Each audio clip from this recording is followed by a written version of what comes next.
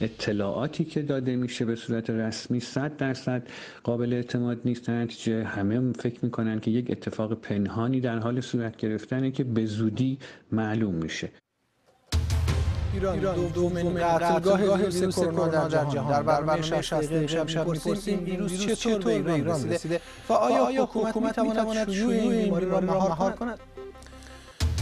مشکلات دربارگری در مبادی ورودی ایران. تجهیزات معیوب درجه حرارت بدن همه مسافران را درست نشان نمی‌دهند و دقایق پیش ستاد مبارزه با بیماری کرونا در ورزش کلیه مسابقه ورزشی را لغو کرد. سازمان لیگ می‌گوید سه مسابقه فردا را برگزار می‌کنیم.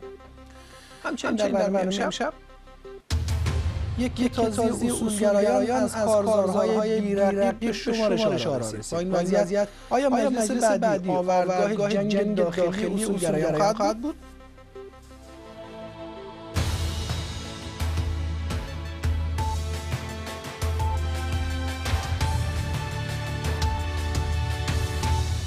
شست دقیقه. زنده از بی بی سی در لندن. ایران, ایران در جمع کشورهای کرونا زده. با پنج قربانی و ده مبتلا یکی از صدرنشینان است. ویروسی که ابتدا به جان اژدهای زرد افتاده به سرعت از مرزهای چین گذشت و حالا در ایران بیشترین قربانی را از قم شهر آیت الله ها گرفته. علاوه بر تعطیلی حوزه قم و مراکز آموزشی ایران برنامه‌های هنری و سینمایی سراسر ایران و چند رویداد ورزشی مهم لغو شده شهرداری یک منطقه تهران مشکوک به ابتلاست و محسن هاشمی رئیس شورای شهر تهران هم خود را قرنطینه کرده. منابع رسمی می‌گویند که آماده مقابله با بیماری هستند ولی ابهامات در مورد نحوه اعلام یکباره شماره قربانی مبتلا اعتبار آنها را مشکوک کرده. این ویروس چطور به ایران راه پیدا کرده؟ حکومت برای کنترل مهار بیماری چه می‌کند؟ بیشتر درباره حرف می‌زنیم؟ اول گزارشی از فرین ویروس کرونا حالا بیشتر از قبل در ایران پخش شده. این تصویر مرتزا رحمانزاده شهردار منطقه 13 تهران است. هفته گذشته در جلسه با اعضای شورای شهر تهران. او جزو موارد مشکوک ابتلا به کرونا است. تا حالا تصور می‌کرده سرماخوردگی شدید است. او با بعضی از اعضا هم دست داده بود. متاسفانه شهردار محترم منطقه 13 مشکوک به ابتلا به ویروس کرونا هستند و این رو اورژانس کشور تایید کرده ما امیدواریم که ایشون سلامتی خودشون رو بازیابند و مسئله خاصی نباشه حالا محسن هاشمی که در جلسه هفته پیش در کنار آقای رحمانزاده نشسته بود در خطر ابتلا به کووید 19 همان کرونای جدید است. محسن هاشمی در این باره توییتی هم کرده. به خاطر دیدار من و برخی اعضای شورای شهر با شهردار منطقه 13 که مشکوک به کروناست امروز برای انجام تست به بیمارستان مراجعه خواهم کرد و فعلا در خانه هستم. البته فعلا علائم کرونا را ندارم اما نتیجه تست بعد از 48 ساعت مشخص می شود دیگر اعضای شورا نیز حتما تست کرونا خواهند داد. ناهید خداکرمی رئیس کمیته سلامت شورای شهر تهران از تعطیلی این شورا خبر داد. اما علی عطا سخنگوی شورای شهر گفت که اعضا تصمیم گرفتن روز یک شنبه نشست علنی خود را برگزار کنند. اما شاید غیبت بعضی از اعضا در این تصمیم تاثیر بگذارد. تعطیلی برنامه های جمعی و خودداری از حضور در اماکن مذهبی از مواردی است که بیشتر پزشکان به آن توصیه می کنند. اما غلامرضا جلالی رئیس سازمان پدافند غیرعامل ایران گفته مقام های ایرانی هنوز به این جنبدی نرسیدند که در قوم یا مکانهای زیارتی پر رفت و آمد قرنطینه لازم باشد. جعفر صبحانی مرجع تقلید شیعه در قوم اما خواست حضور در اجتماعات لغو شود. با وجود اینکه ایران بعد از چین دومین کشوری است که سرایت ویروس کرونا جدید در آن به سرعت پیشرفته وزارت بهداشت می‌گوید ویروس کرونا جدید آنقدر هم خطرناک نیست. علیرغم وحشتی که در ذهن مردم در جهان ازش شکل گرفته ویروسی است به مراتب کم تهاجمتر از ویروس آنفلانزای اچبان انوانی که ما در پاییز با لطف خدا و همت تیم بهداشت درمان و آموزش هایی که مردم گرفتن مهار کردیم. کشندگی و بیماریزایی اچبان انوان به مراتب از این بالاتر بود. این ویروس به مراتب از ویروس سارس که در سال 2003 گرفتاری در چین و بعضی جاهای دیگه ایجاد کرد ضعیفتر عمل می‌کنه. منتها مشکلی که این ویروس داره قدرت سرایتشه.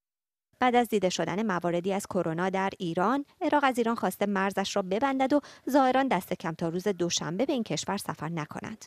خبرگزاری امارات متحده عربی هم به نقل از وزارت بهداشت این کشور از تشخیص کرونا در یک مسافر ایرانی و همسرش خبر داده.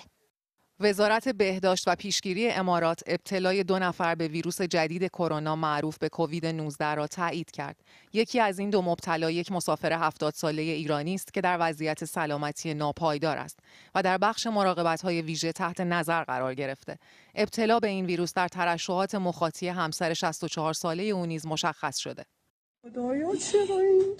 خبرگزاری ایرنا از کمبود ماسک، ژل ضد عفونی و الکل در داروخانه های تهران خبر داده. سازمان غذا و دارو قیمت هر ماسک را 410 تومان اعلام کرده. اما به گفته مردم در داروخانه ها اگر ماسکی هم وجود داشته باشد دست کم 1500 تومان است.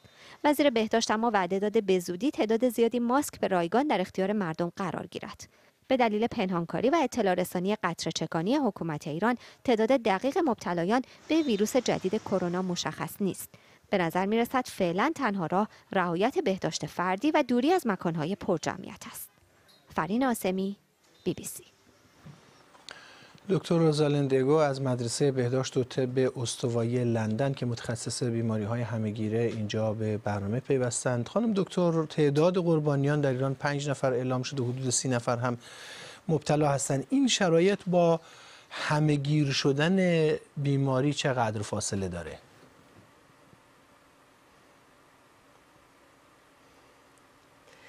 Yeah, so when we see وقتی ما موارد جدید رو می‌بینیم باید ببینیم که اون چه که ما میگیم هرم شیوع هست به چه صورت هست؟ وقتی در بالای هرم اونهایی رو می‌بینیم که کشته شدن یعنی جانشون رو از دست دادن می‌بینیم که این بدترین موردش هست. و پایین هرم موارد ملایم هست. و اون که ما الان نمی‌دونیم این هستش که شکل این هرم برای کرونا چی هستش؟ آیا این هرم هرم پهنی هست یا هرم باریکی هستش؟ و اون فقط موارد خیلی بدتر هستن که بالای هرم هستن. برای این همینه که ما نمی‌تونیم بگیم که انتظار داریم چند نفر مبتلا بشن. برای همین ما الان یک تعدادی که دیدیم که جان خودشون رو از دست دادن می‌تونیم حدس بزنیم که موارد ابتلا خیلی بیشتره. معمولا چه روندی رو برای مقابله با این نوع بیماری ها در سطح بین المللی طی می‌کنند بلکه بتونن اون رو کنترل یا مهار بکنند؟ بنابراین وقتی کشوری موارد جدید ابتلا رو شناسایی می‌کنه متخصصان در اون کشور سعی می‌کنن تا حد ممکن جزئیات این شیوع رو بفهمن. ببینن که اول از کجا مبتلایا مبتلا شدند ببینن که از کجا این ویروس ها رو گرفتن. تمام نقاط تماس مبتلایان کجا بوده با خانواده هاشون با همکارانشون با اقوامشون. و بعد کاری که شما دارین سعی می‌کنین اینه که این زنجیره های انتقال رو پیدا بکنین و بعد اینها رو مهار بکنین. سعی بکنین بیشترین تعداد کسانی که مبتلا شدن رو پیدا بکنین و اجازه ندید که اینها بیشتر از این دیگران رو منتقل بکنن. این قدم های اول برای مهار چنین کسی هستش. ولی وقتی موارد خیلی بیشتر بشن این کار سختتر میشه برای اینکه زنجیره های بیشتری رو باید شناسایی بکنیم و تعداد خیلی افراد بیشتری رو که شما باید همینجوری پیگیر حرکات و نقل انتقالاتشون باشید. شمار زیادی در چین مبتلا شدن و ایده هم کشته در خارج از چین هم همینطور. ولی کشته ها در خارج از چین به شکل رسمی حدود سی نفر اعلام شده. آیا این نشانه ای از مهار یا کنترل بیماری تلقی میشه؟ سوال خوبی هستش. بله بیرون چین تعداد کمتری جان خودشون از دست دادن. دلیلش این هستش که بیشترین مبتلایان در داخل چین هستند و همینطور اینه که بر بعد برگردیم به این سوال که آیا چند نفر میمیرن از تعداد مجموع تعداد کسایی که مبتلا شدن؟ الان چین به سختی داره تلاش می‌کنه که این موارد رو مهار بکنه. اگر شیوع گسترده باشه در کشورهای دیگه بنابراین باید موارد شدید ابتلا در جاهای دیگه و بنابراین فوتی های بیشتری رو در جای دیگه ببینیم. بعد امیدوار باشیم تا حد ممکن سعی بکنن که این ویروس رو مهار بکنن و بعد از اونجا ببینیم که چی میشه. با توجه به توصیفی که کردید از این هرم از نظر شما واکنش های نهادهای بین المللی چطور بوده؟ متناسب بوده با سرعت گسترش این ویروس برای مهار اون؟ هدف اصلی در حال حاضر مهار این ویروس هست و, و, و, جلوگیری از شیوع جهانیش. بعد سعی بکنیم که در جاهای دیگه و در کشورهای دیگه شیوع پیدا نکنه و آلوده نشن به این ویروس. ولی اگر در جایی یک اپیدمی به وجود بیاد و خیلی ها مبتلا بشن بنابراین همه کشورها باید واقعا دست به دست هم بدن که این رو مهار بکنیم. بنابراین اول مهار بکنیم و بعد تعدیل بکنیم اثرات ابتلا رو. دکتر رضا لندگو از مدرسه بهداشت و طب استوایی لندن من ممنونم از حضور شما در برنامه. فرین تقیزاده واکنش ها در شبکه های اجتماعی رو به شیوع ویروس کرونا در ایران دنبال کرده وضعیت شهروندان در ایران و تلاششون برای تهیه ماسک و مواد ضد عفونی کننده مثل ژل های دست از موضوعات اصلی تو شبکه های اجتماعی بوده. ما پیام های بسیاری از شما در این مدت گرفتیم که چه اقدامات پیشگیرانه انجام دادین و وضعیت شهرتون چطور بوده. اجازه بدین که چند تا از اونها رو با هم دیگه ببینیم و بشنویم. خیابون ها خلوت نیست. اونجوری که بگیم چهره شهر تغییر کرده مثل تصاویری که از چین و شانگهای و اینها شهرهای مختلف چین پخش شد اینجا اینجوری نیست. خیلی ها هنوز باور ندارن خیلی ها جدی نگرفتن و شاید در واقع ضعف مدیریت بحران در داخل کشور ما رو آگاه نیستند مشخصا نباید ترسید نباید استرس داشت اما ما متاسفانه می‌دونیم که قواعد اجتماعی ما نزدیک بودن به عید نوروز ازدهام در خیابون ها برای خرید و تجمع مردم تمرکز مردم در جاهای مختلف افزایش رفت آمدها و شلوغی بازارها و مکانهای عمومی. در این حال روبوسی های شب عید و دید و بازدیدها که اجتناب ناپذیره اینها همشون کمک می‌کنه که این ویروس منتشر بشه. از طرفی اطلاعاتی که داده میشه به صورت رسمی 100 درصد قابل اعتماد نیست. نتیجه همه فکر می‌کنن که یک اتفاق پنهانی در حال صورت گرفتنه که به زودی معلوم میشه. متاسفانه مردم ما خیلی هم به بهداشت اهمیت نمیدن و این موضوع رو مثل همه موضوع دیگه شوخی گرفتن. بنابراین خیر تغییر چندانی نمیشه دید. من خودم امروز سر کار نرفتم که دیگه تا روشن شدن تکلیف این قضیه بچم مهد نره. جالبه که توی کانال تلگرامی مهد کودک که دخترم میره می‌بینم که همه خانواده ها بچه هاشون آوردن گذاشتن پرسنل بدون ماسک بدون دستکش. و بدون رعایت نکات ایمنی. من مادر دو تا بچه هستم یه دوقلوی پنج ساله دارم. فعلا تصمیم گرفتم که به خاطر کرونا اصلا از خونه بیرون نرم. هیچ کدوم از کلاس های بچه هامو فعلا شرکت نمی کنم تنها کاری که دارم می‌کنم اینه که سیستم ایمنی بدن بچه ها و خودمون رو قوی کنم. از ماسکایی که خودم دوختم استفاده می‌کنم که مرتب بتونیم عوضش کنیم و بشوریم. مثلا پنج تا ماسک درست می‌کنم هر دو ساعت یک بار مثلا اگه بیرون میریم عوض کنیم. به زور تونستیم ماسک و ضد عفونی کننده دست رو پیدا کنیم. با قیمتی خب مثلا چهار پنج برابر بیشتر از قیمتی که قبل از این بیماری بعد از ورود این بیماری به ایران می خریدیم گرفتیم فکر می کنم یه درخواست سراسری برای تعطیلی کلیه مراکز آموزشی اهم از خصوصی غیر خصوصی کلاس های مختلف. خیلی ضربه و لطمه نزنه. بعضی آموزش ها میشه از طریق فضای مجازی هم تزریق بشه به بچه ها چطور که حتی در ایام جنگ ایران و عراق هم من یادم هست مدارس تعطیل بود و درس های تلویزیونی داده می‌شد به دانش آموزای اون موقع. دیگه الان که امکانات خیلی خیلی بیشتره کانال های مختلف توی تلگرام واتساپ اینستاگرام. آپارات هزار و یک راه وجود داره برای اینکه بخوام بچه ها آموزش ببینن و من یقین دارم خود مربیان هم الان در ترس و ناراحتی هستم بله مشاهدات و نظرهای بخشی از مخاطبان ما بود که از شهرهای مختلف ایران برای ما فرستاده بودن نظرشون رو گفتن. اما چه در شبکه های اجتماعی مشخصا در توییتر داره رد و بدل میشه صحبت میشه در موردش. یکی از این کاربران در مورد کادر بهداشتی و کادر پزشکی که این روزها درگیر این ماجرا هستن نوشته. مشخصا از استادشون که متخصص روماتولوژی نوشته گفته که او هم گویا به ویروس کرونا مبتلا شده و نتیجه آزمایشش مثبت بوده. میگه وارد قرنطینه شده. عقیده داره که کادر درمان مظلوم ترین قش هستن و مقصر می‌دونه مسئولین رو به خاطر پنهانکاری که کردن و همین باعث شده که کادر درمان هم نتونن کارشون رو شاید به درستی انجام بدن که این بخش از انتقاداتی هستش که به کادر درمان وارد میشه. در روزهای گذشته حتی توییت ها و نظرهای منتشر شده بود که برخی مراجعه کردن به مراکز بهداشتی خدمات مناسبی دریافت نکردن یا اینکه هزینه های از اونها گرفته شده. اما وزیر ارشاد در مورد اینکه چطور باید برخورد کنن به نوعی مراجع در مراکز دینی هم یک توییتی کرده گفته که از مراجع مدیران حوزه یا تولیت های مراکز مذهبی خاصانه می‌خوام که در مواجهه با کرونا در مراکز تحت تدبیر توصیه های وزارت بهداشت و درمان و علوم پزشکی رو مبنا قرار بدن و از هر گونه تصمیم اتخاذی بپرهیزن و اینکه بهانه دیگری برای دینگریزی و دین ستیزی پدید نیاوریم که در ساعتهای بعدی هم روابط عمومی وزارت ارشاد اطلاعیه صادر کرد که تمام برنامه هنری و سینمایی در سالن‌های سراسر ایران تا پایان نهم اسفند تعطیل خواهد بود.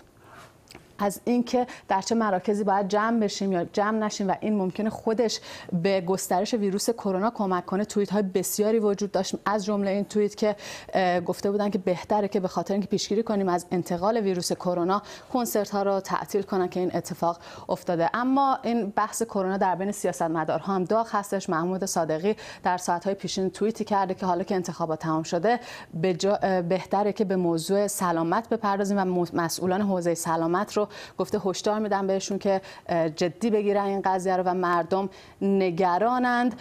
وحید در مورد این قضیه توییت کرده که آیا مسئولین بی تفاوت هستند مشخصا در مورد عملکرد وزیر بهداشت گفته که نباید وزیر بهداشت رو به ناتوانی متهم کرد بلکه این قضیه رو حکومت داره به نوعی پنهانکاری می‌کنه به عقیده وحید. ممنون از اینکه در این بخش هم این گزارش رو ممنونم از فرین تقیزاده. پیشتر با پزشکی صحبت کردیم که در یکی از مبادی فرودگاهی ایران کار می‌کنه. از مشکلاتی پرسیدیم که او و همکارانش برای شناسایی مبتلایان احتمالی به ویروس کرونا با آن روبرو هستند. گفته های او برای حفظ امنیتش توسط یکی از همکاران ما بازخوانی شده که با هم میشنویم. ببینید توی مبادی کشور همه دماسنجی ها با این حرارت های دستی انجام میشه که دیجیتالی هستند و خطای زیادی دارند. یعنی وقتی که چند مسافر رو پشت سر هم با اونها تبسنجی می‌کنن ارور میده. توی مبادی فرودگاه امام هم بعد از اون فیلمی که لو رفت و معاون وزیر اومدن و انکارش کردن دستگاه حرارت سنج برای فرودگاه امام گرفته شد. دو مورد که هر دو موردش تقریبا خراب و یک موردش رو که خود فرودگاه آورده و قرار داده توی سالن پروازهای ورودی که اصلا با اختلاف فاحشی دما رو نشون میده. یعنی قابل اعتماد نیستن اینها هیچ کدومشون. بقیه مرزها هم که عرض کردم خدمتتون همه دستی انجام میشه و اونها هم بعد از اینکه چند مورد مسافر چک میشه باهاشون دچار خطا میشن یا هنگ می‌کنن. اینکه تایید شده که تقریبا ویروس 14 روز ممکنه غیر فعال باشه یا نشونه ای بروز نده حتی اگه حرارت سنج مناسبی همونجا تعبیه شده باشه ممکنه مسافر اون لحظه بدون تب بالا از اونجا رد بشه. تو تمام فرودگاه های دنیا بر اساس تب مسافرها رو دارن قربالگری می‌کنند اینجا هم همینطور. ممکنه بدون تب رد بشه. اما چیزی که ریسک رو اینجا توی ایران بالا برده این هستش که حتی همون لحظه هم مسافر تبدار رو ما نمی‌تونیم جداش بکنیم چون سیستم ها همه خرابه. سیستم درست برای ارزیابی نداریم. خب مطمئنا ریسک رو بالا می‌بره. ریسک ورود مسافر بیمار رو بالا می‌بره. روزهای اول که شرایط استریل هم خیلی رعایت نمی‌شد موارد مشکوک بوده.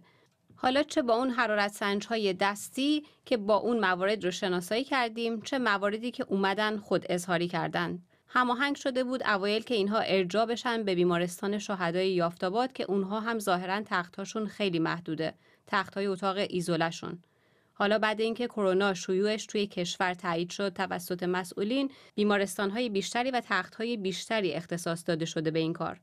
در حال حاضر برای انتقال موارد مشکوک به بیمارستان اورژانس با لباسهای حفاظت فردی افراد رو داره جابجا می‌کنه به بیمارستان می‌بره ولی متاسفانه طبق شنیده ها تا چند روز پیش کیت های تشخیص آزمایشگاهی خیلی محدود بود که ظاهرا طی دو روز گذشته سازمان بهداشت یک مقدار کیت جدید به ایران فرستاده به خاطر همین توی نمونه برداری در روزهای قبل یه خورده خصاصت به خرج می‌دادن به خاطر کم بوده کید.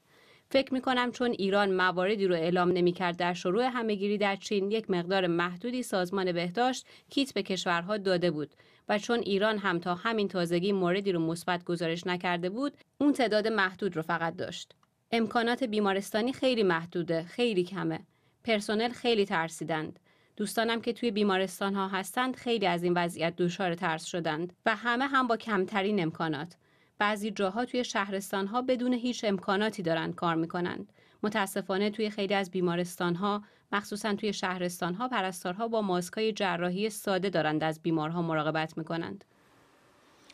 اظهارات بازخوانی شده پزشکی رو شنیدید که در یکی از مبادی فرودگاهی ایران کار می‌کنه. ساعت قبل بعد از اخبار زد و نقیز ستاد مبارزه با بیماری کرونا در ورزش ایران. این ستاد ابلاغ کرد که کلیه مسابقه های ورزشی کشور به مدت ده روز لغو میشه ولی قبل از اون سازمان لیگ فدراسیون فوتبال ایران در اعلامیه کوتاه گفته که مسابقه فردای تیم های استقلال و زوباهن در استادیوم آزادی بدون حضور تماشاگر برگزار میشه. پیشتر گفته شده بود که شورای تامین استان تصمیم گرفته که شورای تامین استان اصفهان بازی فردای تیم سپاهان و پرسپولیس رو بدون حضور تماشاگران برگزار بکنه. ولی باشگاه سپاهان در توییتی گفته که تماشاگران در بازی فردا حضور خواهند داشت. پوریا ژافری خبرنگار ورزشی ما با ماست. پوریا بالاخره تکلیف تماشاگر چقدر روشنه؟ بره ورزشگاه نره؟ در تهران در اصفهان. تو همین فاصله که داشتیم صحبت می‌کردیم جمال به نظر می‌رسه که خبر رسیده خبر داشتی میخوندی؟ تو همین فاصله در جلسه هماهنگی مسابقه فردای سپاهان و پرسپولیس سوال مهدی رئیس سازمان لیگ ایران گفته که کلیه مسابقه هفته بیستم بدون حضور تماشاگران خواهد بود. یعنی تفاوتش با اون اعلامیه‌ای که ستاد مبارزه با کرونا در ورزش داده اینه که مسابقات فوتبال ستایی که قراره که فردا برگزار بشن برگزار میشن اما بدون حضور تماشاگر. یعنی بجز مسابقه استقلال که اون رو زودتر دیدیم که روی وبسایت خود سازمان لیگ ایران هم وجود داشت و مسابقه پرسپولیس که الان خبرش اومده پرسپولیس و سپاهان که اونم مسائل بسیار زیادی رو ایجاد خواهد کرد بدون تماشاگر بودنش مشخصا اون توییتی که از طرف باشگاه سپاهان هم اومد به خاطر اینه که اگه بدون تماشاگر باشه دوچار مشکل میشه احساس می‌کنه که دست پایینتر رو پیدا می‌کنه تو این بازی بسیار مهم و اون مسابقه دیگه در مشهد بین تیم های شهر خودرو و نفت مسجد سلیمان هم تماشاگران نمی‌تونن حضور داشته باشن. من قبلا دیده بودم که خبری در مورد کسایی که واسه بازی استقلال زوبا هم بلیط خریدن اومده که گفتن می‌تونن پول خودشون رو پس بگیرن. قاعدتا برای اون دو مسابقه دیگه هم اگه که بلیطی خریداری شده تماشاگران الان می‌تونن که پس بگیرن. چه فردی یا نهادی در چنین مواردی باید حرف آخر رو بزنه معمولش اینطوری بوده که شورای تامین در همه کشورها هم همینطور هست. یعنی که پلیس یا نیروهای انتظامی هستن که اگه که مشکلی پیش بیاد که در نظم عمومی اخلال ایجاد بشه خطری وجود داشته باشه برای بازیکنان مربیان این پلیس هستش که تصمیم گیرنده است. اینجا هم شورای تامین تصمیم گیرنده بود. ولی مسئله اینه که به نظر میاد این ماجرای ویروس کرونا در ایران تبدیل به یک ماجرای امنیتی شده و اون شورای تامین که خودش با نهادهای امنیتی در ارتباط هست منتظره که ببینه که اون نهادهای دیگه بهش چه کسی چه چیزی ابلاغ می‌کنه؟ سرنوشت بازی ملی چی میشه؟ بازی های ملی هم می‌تونه درد سرساز باشه همونطور که کشورهای دیگه هم دارن سعی می‌کنن که تمهیداتی رو راجع به این مسئله داشته باشن. الان می‌بینیم که بازی های بین المللی که در چین بودن همگی کنسل شدن. حتی تو ژاپن من امروز خوندم که گفتن مثلا هوادارانی که حالشون خوب نیست به ورزشگاه نیان. تو ورزشگاه مگه اومدین سرود نخونید. داد نزنید که از پنجره آدما این ویروس منتقل نشه. اما در مورد خاص ایران ایران یه بازی تیم ملی فوتبال هست که بسیار مهمه که با هنگ کنگ مسابقه داره و اصلا بعید نیستش که اعتراض بشه در همین زمینه و از فیفا بخوان که مسابقه رو در جای دیگه برگزار بکنه. همینطور دیدیم که عراق در مورد بستن مرز خودش با ایران هم اقدام کرده و کویت هم همینطور عراق هم از تیم های دیگه است که می‌تونه اعتراض بکنه به این مسئله و باز هم حق میزبانی ایران رو مورد بررسی قرار بدن.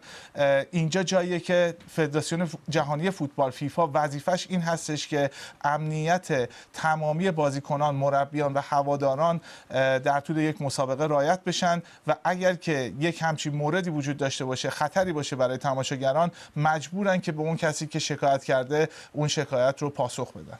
ممنونم از پوریا ژافره اما از خبرهای کرونا کمی فاصله می‌گیریم به انتخابات ایران می‌پردازیم. نتایج اولیه انتخابات 11 دوره مجلس شورای اسلامی در بسیاری از حوزه‌های انتخابی. از جمله تهران اعلام شد. وضعیت تهران کاملا مشابه استانهای دیگه است یعنی فهرست اصولگراها موفق شد به مجلس راه پیدا کنه. وزارت کشور هنوز برابر یا آماری از میزان کلی مشارکت اعلام نکرده ولی خبرگزاری فارس میزان مشارکت رو 42 درصد اعلام کرده. پایین ترین میزان مشارکت در انتخابات مجلس بعد از انقلاب. در این باره به میهمانانی در برنامه گفتگو خواهیم کرد ولی ابتدا مجید افشار نگاهی کرده به جزئیات بیشتر نتایج به تفکیک استانها. این دور از انتخابات مجلس از قبل هم کم و بیش قابل پیش بینی بود به خصوص با رد صلاحیت های گسترده ای که شورای نگهبان انجام داده بود با تصویری که حالا نتایج استانهای مختلف به ما داده می‌تونیم بگیم که مجلس 11 هم یکی از اصولگراترین و نظامی ترین مجالس تاریخ جمهوری اسلامیه چون تعداد زیادی از نماینده ها اعضای سابق سپاه پاسداران هستند. مثلا اگر سری به تهران پایتخت بزنیم جایی که سی کرسی برای شهر تهران در نظر گرفته شده. شهری که ده میلیون واجد شرایط رأی دادن داشت. می‌بینیم که فهرست ائتلاف نیروهای انقلاب معروف به وحدت اصولگرایان بوده که به نظر میاد اکثر کرسی ها رو به دست آورده. نفر پیشتاز محمد باقر قالیباف هست از اعضای مجمع تشخیص مصلحت نظام و شهردار پیشین تهران مصطفی میرسلیم. نفر دوم از او هم از اعضای مجمع تشخیص مصلحت نظام در دولت دوم هاشمی رفسنجانی او وزیر فرهنگ و ارشاد اسلامی بود. در رتبه سوم مرتضی آقا تهرانی دبیر کل جبهه پایداری علاوه بر نمایندگی در دوره هشتم و نهم مجلس بنیانگذار مرکز اسلامی نیویورک و مسجد امام علی نیویورک هم بوده. او در مجلس دهم نامزد بود ولی نتونست وارد مجلس بشه. در رتبه بعدی الیاس نادران رو داریم. نماینده دوره هفتم، هشتم و نهم مجلس عضو کمیسیون برنامه بودجه مجلس هم بوده. آقای نادران عضو سابق سپاه پاسداران انقلاب اسلامی اما در رتبه بعدی محسن دهنوی شاید کمتر اسمش او رو شنیده باشید. او عضو سازمان بسیج دانشجویی نهاد زی مجموعه سپاه پاسداران 20 تیر ماه همین امسال. آقای دهنوی که به همراه خانوادهش در آمریکا قرار بود کار تحصیل بکنه از این کشور دیپورت شد. و در رتبه بعدی هم محمد نبویان هست. او هم عضو جبهه پایداری و دانشیار گروه فلسفه مؤسسه امام خمینی. وقتی اسامی راهیافتگان به مجلس رو در استانهای مختلف نگاه می‌کنیم یه نکته جالب دیگه هم به چشم می‌خوره اینکه سلیس اکثر استانها یا رئیس ستاد انتخاباتی ابراهیم رئیسی در انتخابات ریاست جمهوری سال 96 در اون استان بودن یا وزرای دولت‌های نهم و دهم در دوره محمود احمدی نژاد و یا شاید هم برخیشون استاندارهای او. اگه نگاهی مثلا در اینجا به اردبیل بکنیم در استان اردبیل سرلیست علی نیکزاد هست اصولگرا و وزیر راه و ترابری. در دولت آقای احمدی نژاد. نکته جالب این که آقای نیکزاد رئیس ستاد اصلی انتخاباتی ابراهیم رئیسی بود. اما در استان همسایه در استان گیلان وضعیت تقریبا مشابه است. در رتبه دوم علی آقازاده قرار گرفته. عضو سابق سپاه پاسداران او هم رئیس ستاد انتخاباتی ابراهیم رئیسی در این استان بوده. در رتبه اول هم جبار کوچکی نژاد رو می‌بینید. او هم از اصولگراهای سرسخت او موافق ممنوع تصویری محمد خاتمی بود. اما اگه بریم به استان همسایه یعنی استان مازندران شاید اسمی که در این لیست اکثرا اصولگرا هستن اما اسمی که خب معروفتره و خیلی او رو می‌شناسن شمس الدین حسینی هست. وزیر اقتصاد دولت دوم محمود احمدی نژاد که حالا او هم وارد مجلس شده. وزرای دیگه محمود احمدی نژاد هم در استانهای دیگه هستند که وارد مجلس شدن. مثلا در همدان حمیدرضا حاجی بابایی وزیر آموزش و پرورش دولت دهم عبدالرضا مصری وزیر رفاه دولت نهم که حالا از حوزه انتخابی کرمانشاه وارد مجلس شده. از اصلاح طلبان شناسنامه دار تنها چند نام تونستن نامزد بشن و چند نفری از اونها هم تونستن وارد مجلس بشن. از جمله شاید معروفترین اونها مسعود پزشکیان که در آذربایجان شرقی در از تبریز او الان وارد مجلس شده او نایب رئیس اول مجلس دهم بود و سابقه وزارت در دولت آقای خاتمی رو هم داره. در مجموع به نظر می‌رسه که از کل 290 کرسی مجلس حدود 15 کرسی به اصلاح طلبان برسه. و خب این نماینده ها هم از معدود نامزدهایی بودن. شورای نگهبان رد شدن. ممنونم از مجید افشار. کوروش رحیم خانی مدرس علوم سیاسی دانشگاه ایالتی نیویورک اینجا با ما هستن. آقای رحیم خانی یکی از مواردی که گفته شده ممکنه در میزان مشارکت اثر گذاشته باشه سرخوردگی هست که خصوصا بعد از اعتراض ها در بخش های از نقاط ایران بروز کرده. اگر مثلا جاهایی رو نگاه بکنیم که اعتراض ها در اونجا بیشتر دیده شد و میزان مشارکت اونها رو با موارد گذشته با انتخابات های گذشته مقایسه بکنیم چی دستگیرمون میشه؟ خب متاسفانه برای انتخابات فعلی همه داده های که مرتبطن با انتخابات رو ستاد انتخابات کشور نداده. حتی فرمانداری هم که دارن اعلام می‌کنن برای خیلی از شهرها تعداد رای دهندگان رو هم نمیگن که این یکم مسئله رو پیچیده می‌کنه. و ولی برای بعضی از شهرها تا اونجایی که من نگاه کردم امروز داده بودن مثلا برای ماهشهر میزان کسانی که توی انتخابات فعلی مشارکت کردن رو اعلام کردن چیزی در حدود 38 هزار نفر. ولی اگر این رو با میزان واجدین شرایط انتخابات مجلس دهم مقایسه بکنیم که در اون موقع خود فرماندار فرماندار و ستاد انتخابات کشور اون رو 305 هزار نفر اعلام کرده و بیش از اون. خب توی انتخابات قبلی ما 55 درصد مشارکت داشتیم توی ماهشهر و هندیجان امیدی. این دفعه ما الان بر, بر مبنای این نرخ گذشته با انتخابات دهم اگر ما این رو مقایسه بکنیم به یه عددی مثل 36 درصد می‌رسیم. تقریبا 36 درصد می‌رسیم. البته اگه همه چیز ثابت باشه نسبت به انتخابات مجلس دهم یعنی به مسابقه مجلس دهم اون رو در نظر بگیریم. برای جاهای دیگه که من نگاه کردم تنها نشون میده که تقریبا حدود 20 درصد 19 20 درصد فقط در ماه شهر میزان مشارکت در مقایسه با دور قبلی کمتر شد. اگر میزان واجدین شرایط کم زیاد نشده باشه. اگر کم زیاد نشده, نشده باشه. ولی برای بله و, و جای دیگه چی؟ مثلا آیا به کردستان دسترسی پیدا کردید؟ به آمار و ارقام اونجا؟ من کردستان رو هم نگاه کردم. یعنی آمار کردستان رو هم تا چون یه نکته مثبت در مورد استان کردستان اینه که اکثر فرماندارا میزان آرا رو اعلام کردن. هرچند میزان واجدین شرایط رو باز دوباره اعلام نکردن. مثلا من برای قروه رو نگاه کردم که برای مجلس فعلی رو داده بودن. توی مجلس دهم 165 هزار نفر شرکت کرده بود 65 درصد بوده انتخابات گذشته توی انتخابات فعلی به 47 درصد رسیده بود. خیلی کمتر از سایر نقاط شهرهای دیگه استان کردستان. برای سقز ولی این خیلی بیشتر بوده. میزان واجدین شرایط توی انتخابات مجلس دهم توی سقز 261 هزار نفر اعلام شده بوده.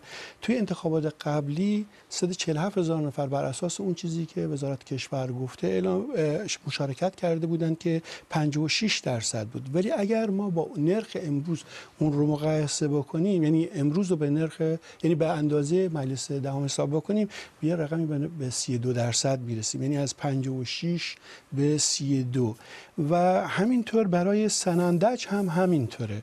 برای سنندج هم توی انتخابات 505 بیش از 505 هزار واجد شرایط توی برای اون حوزه انتخابی اعلام کرده بودند که تو انتخابات قبلی 230 هزار نفر شرکت کرده بود که 45 درصدش بود.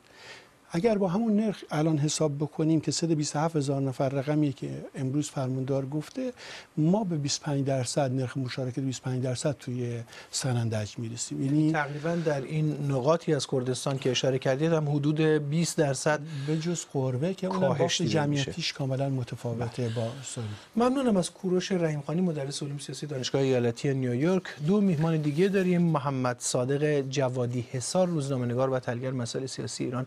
از مشهد و همینطور رضا علیجانی فعال ملی مذهبی از پاریس با ما هستن. اجازه بدید که سال اول از آقای علیجانی بپرسم. از آنچه تا حالا منتشر شده آقای علیجانی این مجلس چه ویژگی متفاوتی داره با مجالسی که در چهل سال اخیر تشکیل شده؟ با سلام خدمت شما آقای جوادی استار و بینندگان عزیز.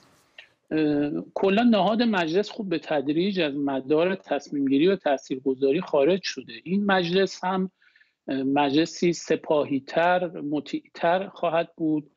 اما اتفاقا مهمتر به گمان من برخوردی است که حکومت و مردم با این انتخابات کردن. یعنی حکومت شاید به نظر برسه که در چهار دهه اخیر هیچگاه جمهوری اسلامی با مشکلاتی که در این سالیان اخیر باش مواجه بوده مواجه نبوده. در سیاست خارجی در رابطه با اعتراضات مردم و همچنین نگرانی که در رابطه با انتقال رهبری داره. و به عبارتی می شود گفت در این انتخابات حکومت رفت به سمت یک دستی و معنای این این هست که امنیت نظام رو بر اعتبار و حیثیت و مشروعیت نظام ترجیح داد آقای خامنه‌ای. یعنی اینکه انتقال رهبری ساده صورت بگیره بستر انتخابات من به اصطلاح بستری نباشه که دریچه‌ای برای اعتراضات باشه. قبلا خب سپاه و اطلاعات سپاه و وزارت اطلاعات هشدار داده بودن. به یاد داریم موقعی که آقای نوریزاد و خواستار و بقیه رو تو مشهد دستگیر کردن اداره اطلاعات خراسان بیانیه ای داد و در اونجا گفت که اینها می‌خواستن در حالی که خوبی مندگان خدا تحریمی هم بیشتر. تحریمی هن همشون. بله. گفتن که اینها می‌خواستن انتخابات رو من منبعی قرار بدن برای اعتراض و اینها. یعنی نظام آمد امنیت رو برای خودش است گرفت. ولی از طرف دیگه مردم هم وارد مرحله جدیدی شد به گمان من که آن روی سکه اعتراضات خیابانی بود. اگه خشم مردم و ناراضیان اقتصادی از اعتراضات آبان ماه و دی ماه از 96 تا 98 خودشون نشون داد. حالا بحر مردم به صورت وسیع خودشون نشون داده. تردید نکنید در اینکه بعد از 24 ساعت اعلام نمی شود چه مدار شرکت کردن. دارن عدد سازی می‌کنن آقای روحانی رو صندوق رأی صراحتا گفت که ما لحظه به لحظه 98 درصد حوزه های رأیگیری به صورت آنلاین به ستاد انتخابات وزارت کشور وصل هستن. در هر لحظه ما می‌دونیم چند نفر شرکت کردن و چند نفر در حال رأی دادن هستن. این معناش این هست بله. که حتی یک ثانیه بعد از اتمام رأیگیری می‌تونستن آمار رو اعلام بکنن و حالا دارن با آقای خامنه‌ای چونه می‌زنن که چند درصد اعلام کنن. گویی فقط تو ایران اداره هواشناسی است که مونده از آقای خامنه‌ای سوال کنی که هوا رو ما آفتابی یا ابری اعلام آقای جوادی حسار شما چی فکر می‌کنید؟ خصوصا بعد از این انتخابات کم و کیفی که برگزار شد میزان مشارکتی که تا اینجا اعلام شده افرادی که راه پیدا کردند موضوع اعتبار صندوق رأی در چه موقعیتی قرار گرفته؟ به نام خدا بنده هم خدمت شما و مهمان محترم آقای سلام عرض می‌کنم.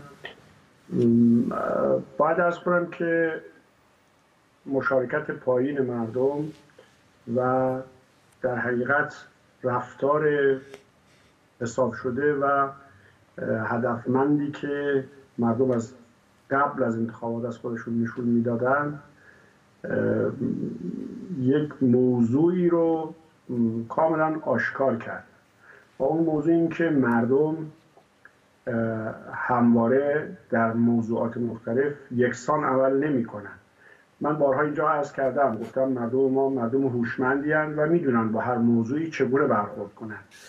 و تصور من این بود که پیام روشن این انتخابات به دستگاه های اجرایی و به ویژه به تصمیم سازان در امر انتخابات این بود که ما در برابر رفتارهای انحصار طلبانه رفتار انحصار شکنانه خواهیم کرد. کاری که شما نتوانید اون رو مدیریت بکنید. ممکنه آمار یه مقداری پس و پیش بشه ولی نمیشه مثلا مشارکت 35 درصدی یا 40 درصدی رو در کشور یه مرتبه 60 درصدی یا 65 درصدی اعلام کرد. چون دوم خروس کاملا پیداست. دیروز در اقصانقات کشور در بعضی جاها مشارکت خیلی به چشم می اومد که صدا و سیما اونجاها رو خیلی پوشش می‌داد. در بعضی جاها هم که اصلا کلا به چشم نمی آمد و صدا از کنارشون به راحتی رد می شد من از زمینی که انتخابات یک نوعی از گفتمان جدید رو توسط مردم با دستگاه های اجرایی و تصمیم سازان امر انتخابات ایجاد کرد. مردم دارن به تصمیم سازان و مجریان امر انتخابات می‌گویند که شما بازی خودتون رو بکنید ما هم بازی خودمون رو می‌کنیم. اون که باید سوت داوری رو بزنه افکار عمومی و افکار عمومی داخل و خارج کشور است که تصمیم می‌گیره که کدوم یکی از این دو جریان به مطالبات قانونی نزدیکتر عمل می‌کنن و کدوم ها غیر قانونی تر عمل می‌کنن. دیگه به مرور زمان هر رفتاری هزینه خودش رو طلب خواهد کرد. اون کسانی که قانون شکنی می‌کنن یا قانون گریزی می‌کنن یا حتی قانون ستیزی می‌کنن اونها تاوان رفتار خودشون رو خواهند داد و اون کسانی که محرومیت می‌کشند ولی مبارزه می‌کنند و در میدان میمانند برای رفتارهای قانونی اونها هم بالاخره باید تاوان رفتار خودشون رو ببینند. بسیار خب آقای علی جانی مجلس سپاهی تر و امنیتی تر تلقی شما این بود. در زمان آقای احمدی نژاد هم چنین اتفاقی افتاد. این مجلس چقدر متفاوت با اون دوره خواهد بود؟ ببینید اون دوره درآمد اقتصادی کشور بر اساس نفت بالای 100 دلار بود و اعتراضات مردمی هم در این حد نبود. یعنی واقعا ما وارد یک مرحله جدیدتری شدیم. الان سقف خواسته سپاه و فشارش این هست که همین آماری که خبرگزاری فارس داره عدد سازی می‌کنه اعلام بشه. یعنی در کل کشور 40 درصد تهران 30 درصد. در حالی که بنا به شواهد میدانی و برخی شنیده ها کل کشور زیر 30 درصد و تهران و خیلی از شهرهای بزرگ زیر 20 درصده. اما اون چی که اتفاق افتاده اساسا مرکز سقل تحولات سیاسی و تغییرات سیاسی از درون نظام و سیستم داره به جامعه مدنی و جامعه جنبشی منتقل میشه و حکومت هم نهاد تصمیم گیری مرتب متمرکزتر میشه و آقای خامنه ای در شخص آقای خامنه ای و نیروهای نظامی امنیتی. البته این رو هم باید گفت که جمهوری اسلامی هیچگاه نمی‌تونه یک دست بشه. در همین مجلس آینده هم ما شاهد اختلافات و تشتت ها خواهیم بود. اون چیزی که الان اصولگراها جشن خودشون می‌بینن واقعا روز عزای اونهاست. چون از این به بعد اونها خودشون رو خل اصلاح تبلیغاتی کردن برای اینکه همه مشکلات کشور رو به گردن مجلس اصلاح طلب و اعتدالی و دولت بیاندازن. تشتت و اختلافات آغاز خواهد شد. یه بله. اقلیتی باندهای فاسد اقتصادی و مافیاهای سیاسی اقتصادی که عناصر مشکوک هم توشون هستن خواهم بود. یه اقلیتی دیگری عملگراها و مسلحتگراها خواهم بود و یه اکثریت مطیع و خاموش که پیرو آقای خامنه ای هستند و خلاصه باید مشکلات اقتصادی این زندگی روزمره مردم رو حل کرد و اینجا دعواهای اینها رو باید آقای خامنه‌ای صلح بده. اگر دعوایی پیش بیاد و اینها مطیع آقای خامنه‌ای خواهند بود و بود و نمود قدرت با هم تطابق بیشتری پیدا خواهند کرد و ظاهر و باطن مدیریت کشور یکی خواهد شد. آقای جوادی حسار گفتید هر رفتاری تاوان خاص خودش رو داره اصلاح طلبان رد شدن جای چندانی برای بازی نداشتن ولی ولکن ماجرا هم نبودن. آقای خاتمی رفت رأی داد. چه تاوانی برای رفتار انتخاباتی اصلاح طلبان میشه تلقی کرد؟ اصلاح طلبان به نظر من همونطور که بازم در محله اول گفتم به نظرم بازی هوشمندانه ای رو کردن. یعنی اینکه توی هیچ کدوم از اون زمین هایی که براتون تعریف شد ورود نکردن به تحریم نپیوستن گفتن ما تحریم نمی کنیم اما لیست میدیم. لیست نمیدیم و در عمل هم در کنار مردم و با مردم واسطادن و به نظر من آقای خاتمی هم کاری که کرد کار هوشمندانه ای بود چون دنبال این بود که مثلا به جریان های مختلف بگه. ما هنوز معتقدیم که می‌تونیم از طریق صندوق رأی کاریمون انجام بدیم. آقای جواد انصاری ببخشید میگید که در کنار مردم موندند اگر فرض بگیریم که مشارکت 40 درصد بوده آقای خاتمی با رأیی که دادن در کنار 60 درصد نموندند. خلاف کار شیوه اونها عمل کردن. درسته؟ نه.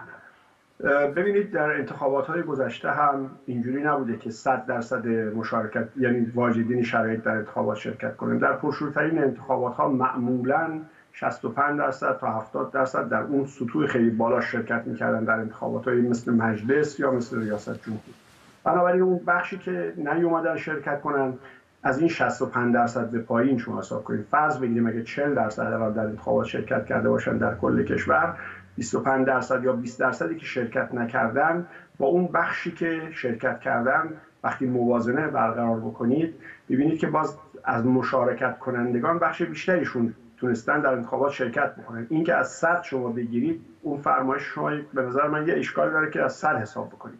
ولی ببینید اون چیزی که به نظر من اتفاق افتاد این بود که هربه رو از دست جریان های مخالف اصلاح طلبان با تیم مورد حمایت آقای خاتمی گرفتن. یعنی دیگه امروز اگر در مجلس اتفاقی بیفته نمی‌تونن بگن اینها لیست مورد حمایت اصلاح طلبانن. اینا همون کسانی که اصلاح طلبا فرستادن به مجلس. این بحث اول. بحث دوم این است که اتفاقا از امروز دعواهای درون جناهی در میان اصولگراها آشکارتر خواهد شد. اینکه دوست ارجمندمون جناب آقای علیجانی میگن همه مطیعن من معتقد به این قضیه نیستم. تیم آقای احمدی نژاد در دوره‌ای که در قدرت بودن نشون دادن که کمترین تبعیت رو از رهبری می‌کنن. یعنی اونها وقتی که دعوای بین لاریجانی ها و احمدی نژاد پیدا شد مستقیما رهبری گفتن آقا این قضیه رو دیگه کش ندید بله. اما آقای احمدی نژاد کشش داد و ادامه داد. و تیم آقای احمدی نژاد هم این رویه رو به عنوان یک استراتژی دارن. اینکه امروز اونا به مجلس آمدن به نظر من آغاز دعواهای بین جناحین داخل اصولگرایی خواهد بود و قدرتمندتر از گذشته این دعوا رو ادامه خواهد داد. آقای علیجانی مجلس مطیع رهبری با دخالت های بیشتر آیت الله خامنه این ارزیابی شما بود. منظورتون اینه که ایران تبدیل میشه به یک نظام تک جناحی که بیشه باید به نظام های تک حزبی نیست؟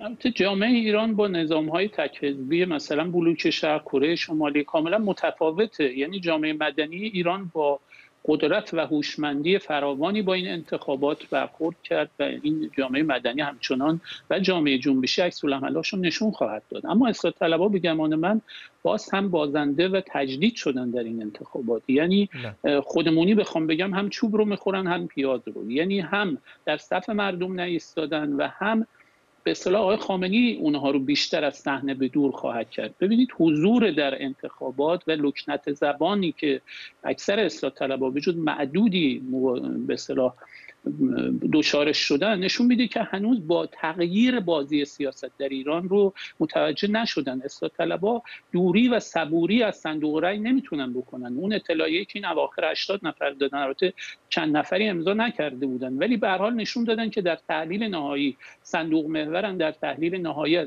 خیابان میترسن در تحلیل نهایی بین حکومت و مردم حکومت رو انتخاب می‌کنن. و این هم شکست آقای خامنه‌ای بود این انتخابات و هم تنزل اعتبار اجتماعی اصلاح طلبانی که نتونستن با سراحت وقتمون خیلی کم آقای الجنی آقای جوادی حسار خیلی کوتاه لطفا.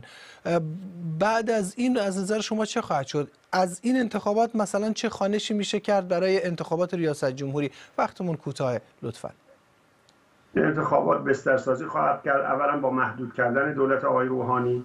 و بعد با تقویت جریان های منتقد اصلاح طلبان و از اون طرف هم یعنی در حقیقت حامیان دولت کنونی و بسترسازی و ریلگذاری خواهند کرد برای فتح شوراها به عنوان یک بستر گسترده اجتماعی و ریاست جمهوری در آینده.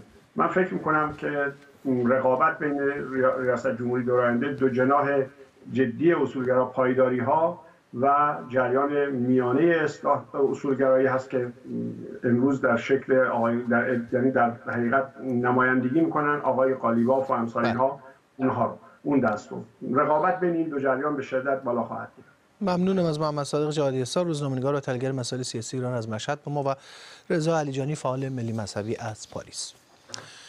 این دوره انتخابات مجلس مثل دوره های پیشین با باستاب های بین المللی هم همراه بود. گزارشگران بعضی رسانه های معتبر بین المللی همزمان با انتخابات فرصت پیدا کردن به ایران سفر کنند و نشریات گوناگون هم درباره این انتخابات تحلیل های منتشر کردن کیوان حسینی در ادامه مروری داره بر این باستاب ای در سطح جهان. از قلب پایتخت داعیا الى المشارکه بکثافه سال زن یه تکلیف شرعی است. تا قلب قدرت. كما قلنا من قبل. والحقيقة أن الانتخاب. در همه اون بخش campaigning Iranian style. برای رسانه های بین المللی بسیاری انتخابات دوره 11 مجلس شورای اسلامی مانند همیشه سوژه قابل بررسی بود. گزارشگرانی به ایران سفر کردند و تحلیل های بسیاری هم منتشر شدند. گزارش هایی شبیه به این که در آن سخنرانی محمد باقر قالیباف اصولگرا مبارزه ریشه‌ای در کنار اظهار نظرهای مجید انصاری اصلاح طلب قرار گرفت. به کسی که به حال قبلا یا این یکی که در آن شهروندان عادی نظراتشان را درباره شرکت یا عدم شرکت در انتخابات می‌گویند. نظراتی که در آنها وضعیت بد اقتصادی کشور فقر برخی از شهروندان و نارضایتی عمومی باستاب دارد.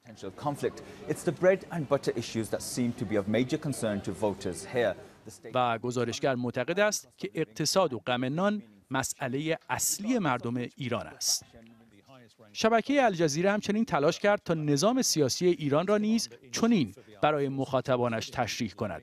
نظامی که در آن رهبر در صدر امور است و سپاه و شورای نگهبان نقشی کلیدی در ساختار قدرت دارند.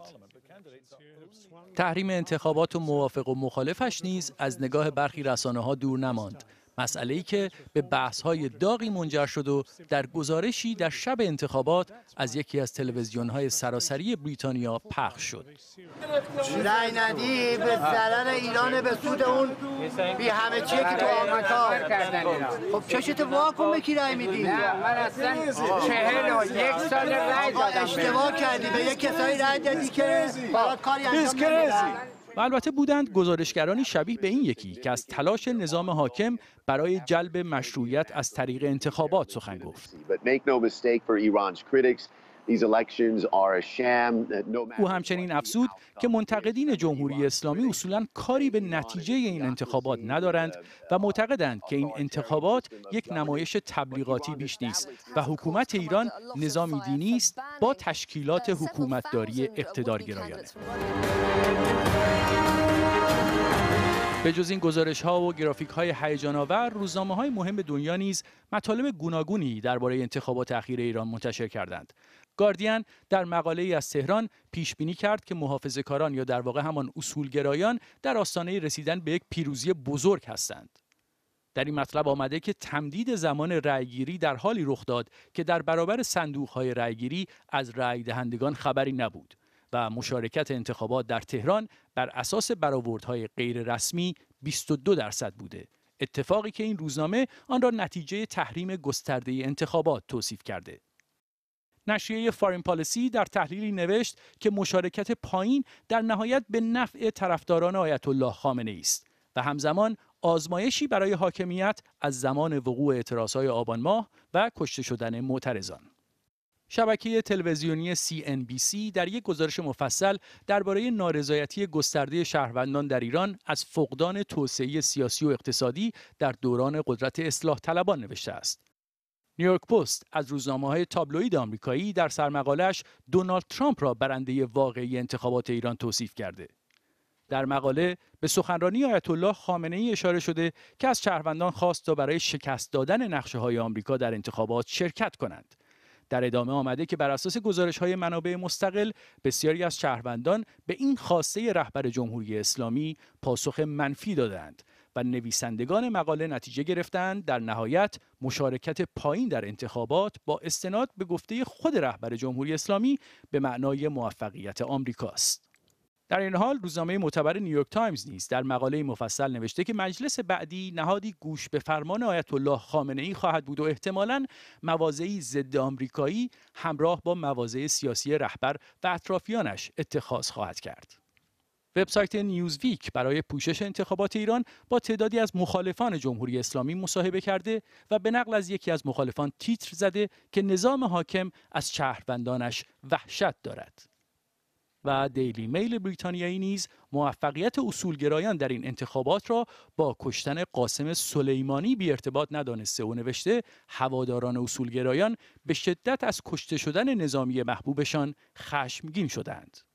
برای بسیاری رسانه های بین المللی و خبرنگاران خارجی انتخابات ایران یکی از فرصت های استثنایی برای گرفتن مجوز از وزارت ارشاد و سفر به ایران است. فرصتی که در نگاه منتقدین حکومت با اهداف تبلیغاتی در اختیار این خبرنگاران قرار می گیرد اما در این حال می تواند فرصتی کوتاه باشد تا روزنامه‌نگارانی با نگاهی مستقل و متفاوت از حاکمیت به سیاست و جامعه ایران نگاهی بیافکنند.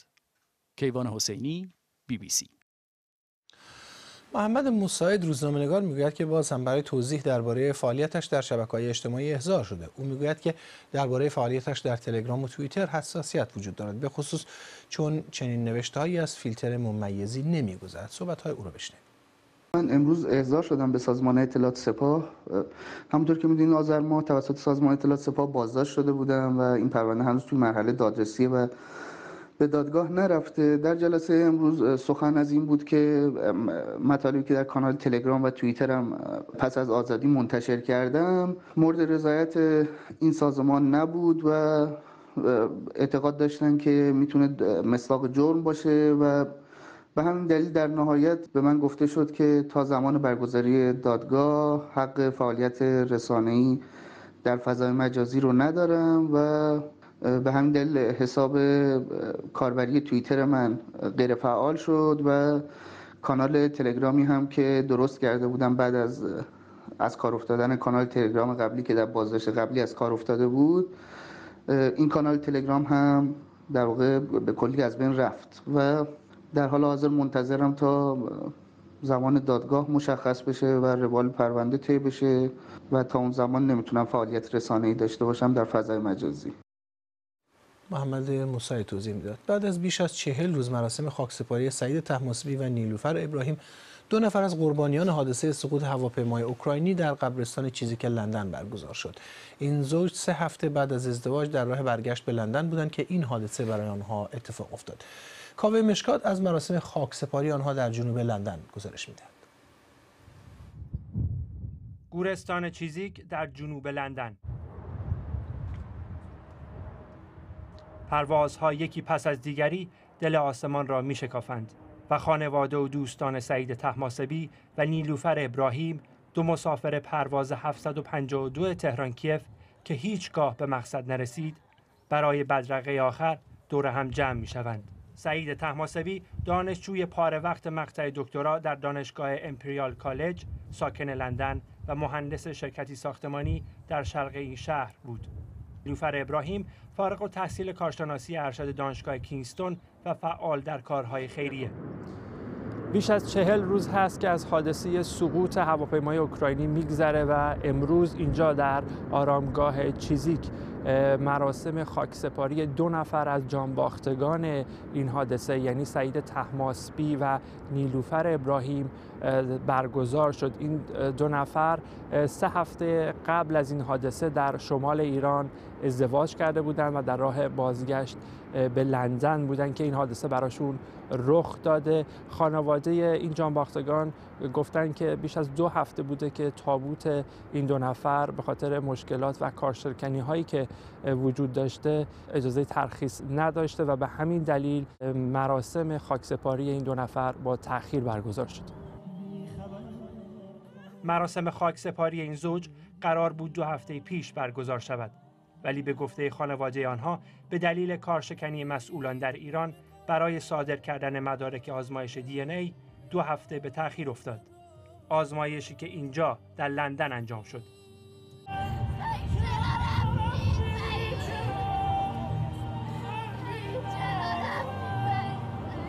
چرا رفتی؟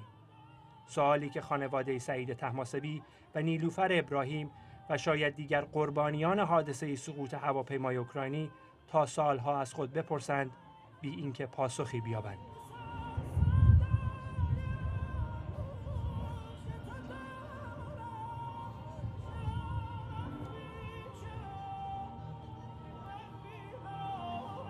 کاوه مشکات بی بی سی.